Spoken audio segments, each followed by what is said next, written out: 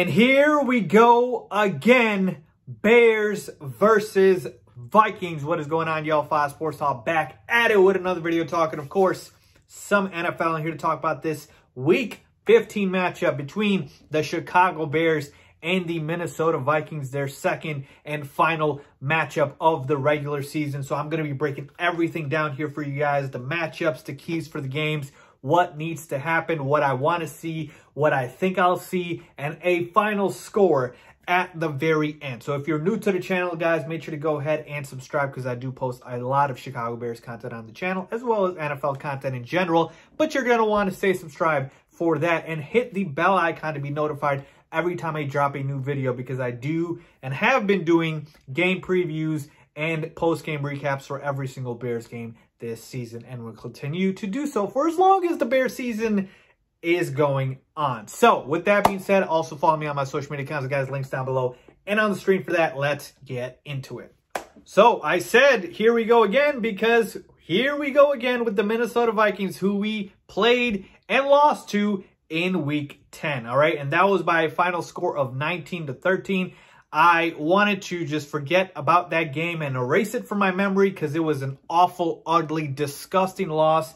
And up until this point in the season, prior to week 15, post week 14, I would say that was arguably the worst loss of the Bears' entire season. Like that game was on a silver platter for the Bears to win in week 10 against the Vikings, and they just flat out gave it away flat out gave it away. If you remember, that was the game that Nick Foles ended up getting hurt. We saw a little bit of Tyler Bray there at the end. That was the game David Montgomery was out because of a concussion. So that game hurt, folks.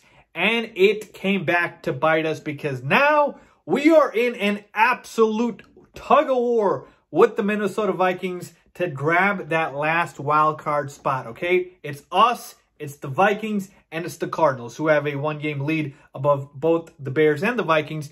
But essentially, this game, it's about as must-win as they come because if we win this game, not only do we take a one-lead game ahead of the Vikings, we essentially take them out of contention if we do, obviously, uh, you know, maintain our business moving forward. But we essentially take them out of contention for that last wild card spot, and it would just be us competing with the Cardinals. All right. So it's a huge game. It's an absolutely monstrous game in terms of impact and what it could mean for the Bears playoff chances. Okay. So again, disgusting loss in week 10. I just, I cannot believe we lost that game. But now it is our time to get redemption and revenge against the Minnesota Vikings. Let's talk about how we can do that in week 15. All right, let's start with the offensive side of the football here, folks. And I mentioned to you guys that we did not have David Montgomery for that first Vikings game. And that was a huge, huge loss because we don't really have any running back behind David Montgomery, okay? In that game, Cordarrelle Patterson, I'll let you see Pat, but he only had 12 rushes for 30 yards, okay? We know he's not a running back or a pure running back. And so what I'm trying to say here is we got Monty back. He's on fire. The first key is going to be to continue feeding David Montgomery, okay? We have been having success offensively these last few weeks, even if they have not translated to wins. We have been having offensive success, and our offenses actually look competent because we have been able to run the football successfully thanks to David Montgomery. He's been ripping off big chunks. He's been ripping off long uh, runs for touchdowns, and that needs to continue against the Vikings team that is still not very good defensively, folks. We're talking about the 23rd ranked defense overall, 27th against the pass, 23rd against the rush. So they're bad everywhere. And you can still run on this Minnesota Vikings team. Uh, is their run D as bad as the Texans or the Packers? No, but it's not great by any means. So Monty still needs to be fed over and over again. I want a heavy dose of David Montgomery in this game like we have been seeing the past few weeks, okay? So that's the biggest key here. And I'm telling you right now, if we had David Montgomery for that first game, I think we win that football game against the Minnesota Vikings. All right, key number two, let's talk about the other running back in this game, Dalvin Cook, okay? Dalvin Cook, if you guys remember from my game preview in week 10, in the first time we played the Vikings, I said the number one key is stopping Dalvin Cook. And at that point, he was on fire. He was literally lighting up the league. He was unstoppable. And I said the Bears need to hone in on him. This is going to be his toughest matchup. And you know what? The Bears did a pretty damn good job on Dalvin Cook, okay? He had 30 rushes for 96 yards, which is not very good per yard average, okay? The 96 yards looks nice, but on 30 carries, not very efficient. I will take that. So the Bears need to continue doing that this week. We need our run defense to absolutely shut out Dalvin Cook. Do I think that's going to happen? Probably not, but at least let's try to slow him down. If we get a performance like that, that we got in week 10, I'll take it. I'll take it. So, so Dalvin Cook, you got to stop him because if Dalvin Cook gets going, then you will see that the Vikings are okay just feeding him the rock all game. I mean, even when he wasn't going, they fed him the ball 30 times against the Bears, folks. And we saw last week when they lost the Vikings to the Tampa Bay Buccaneers, that's because Dalvin Cook was essentially shut down in a way. Now, again, you're not going to completely, you know, erase him because he's just too good of a running back, but can you neutralize him? Yes. And that's how you have success against this Minnesota Vikings team. Put the ball in Kirk Cousins' hands and force him to throw a football. And if he beats you throwing the ball uh, versus Dalvin Cook running it up your gut, I will take that all day and I will just take my L at that point. So you got to stop Dalvin Cook. And our Bears defense last week played really well. Weeks before that, against Detroit, against Green Bay, they were awful. So I need this Bears defense from earlier in the season, from last week. I need that defense. I need that defense to show up and show out against Dalvin Cook. Hopefully, with everything on the line, they understand they need to perform, and we need to stop Dalvin Cook. Key number three, let's get some pressure on Kirk Cousins. Can we do that? Can we, can we please do that? Robert Quinn. Ro where is Robert Quinn?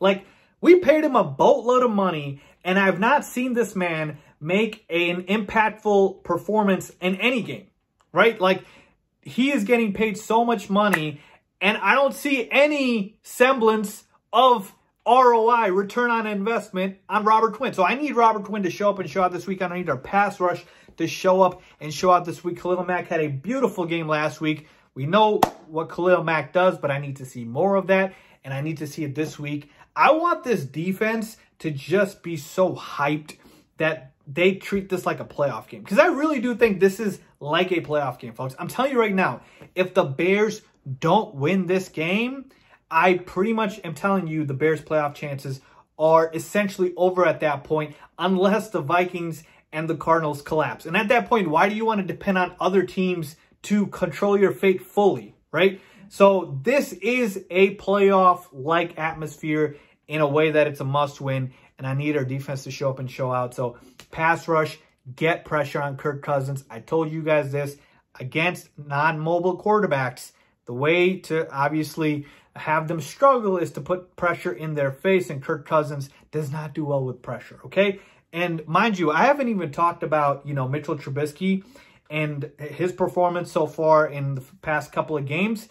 Nick Foles was our quarterback that week uh, against the Minnesota Vikings, and he was awful. I told you he was bad, okay? Uh, 15 for 26 for 106 yards and a touchdown. So I'm expecting Mitchell Trubisky to have a much better game than Nick Foles did. And I'll tell you this much. Mitchell Trubisky has not lost to the Minnesota Vikings since 2017, I believe. Okay?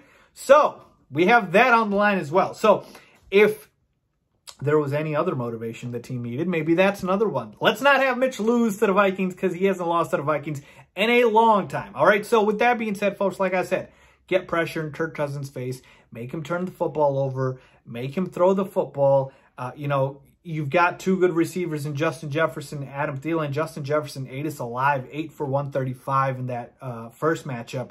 So obviously you want to stop him, but then you got Adam Thielen who had two touchdowns. So it's like pick your poison. So if we're doing that, I'll pick my poison in, in stopping Dalvin Cook, okay? And then I will focus on the receivers after, all right? Stop this run game, and you have a chance to slow down and beat this Minnesota Vikings team. All right, folks, it's time now. It's time to make my prediction on the Chicago Bears versus the Minnesota Vikings game. And I got to tell you, folks, coming off a dominating performance against the Houston Texans, you would think Faiz, you got to roll with the Bears, right? Well, absolutely. That's what I'm going to do. I'm going to roll with the Bears here to beat the Minnesota Vikings 24 to 17, folks. And hear me out, okay? This is not me being biased. This is not me, you know, just rooting for the Bears to win because I want them to win.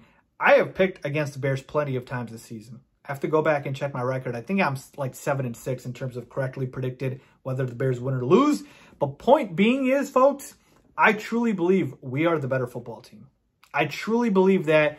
And now that our offense is looking at least decent and we have our defense hopefully playing together, if we get our offense and defense and special team, shout out Cairo Santos, to all three play well in the same game, we get domination. And that's what happened against the Houston Texans. The first time all season that we got all three faces of the football playing well together.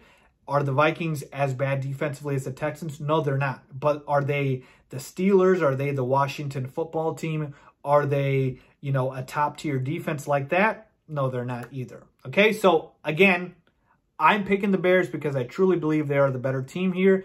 And I think this is going to be a tight game. I have the Bears winning 24 to 17. We go ahead and beat the Minnesota Vikings. Let me know what you guys think. Leave a comment down below if you agree or disagree. As always, thanks for watching.